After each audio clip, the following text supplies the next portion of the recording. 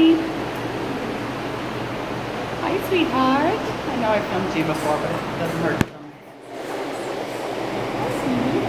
How beautiful you are. You are so beautiful.